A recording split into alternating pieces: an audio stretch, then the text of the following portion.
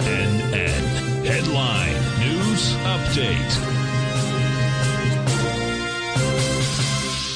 Okay, folks, Larry Pesavento for TFNN with the mid afternoon update. Uh, big reversal, folks.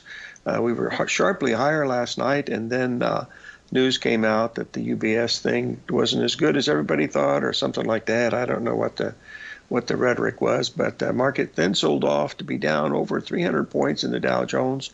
We recovered that 300 and added 300. So I posted a chart here, the Dan showing that we are making a big ABCD pattern at that time.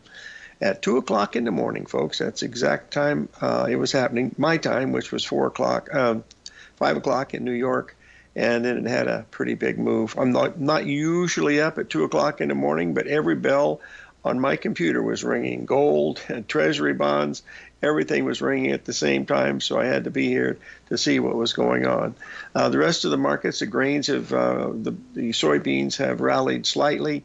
Uh, corn slightly, and also uh, wheat slightly. Very little going on over there. Treasury bonds is the big news because they're down about a little more than a point and a half right now which was a big surprise, thinking that think, things were going to go higher. But if you were listening to our show Friday, Bill Meridian said you should sell bonds. And by golly, so far they got about a two point handle in them if you uh, did that. And that was a pretty interesting thing that he had to tell us. He'll be with us again, I believe, on Wednesday or Thursday. Tomorrow we have none other than our good friend. Let's double check this just to be safe. It's going to be Bill Meridian tomorrow, on 22nd will be Stan Harley. But today, without further ado, coming up here in about uh, 30 minutes will be none other than Norm Winski. And uh, since we're right over the time of the full moon, and we got a spring equinox coming in tomorrow, so springtime is coming, folks. So things are looking good. So we want to keep that in mind.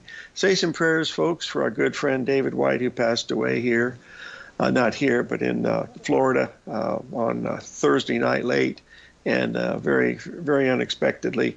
And uh, he will be missed. But he, what a stand-up guy he was. I nicknamed him Mr. Google because God, he knew, he knew computers and all this other technical stuff that I have no idea what it was.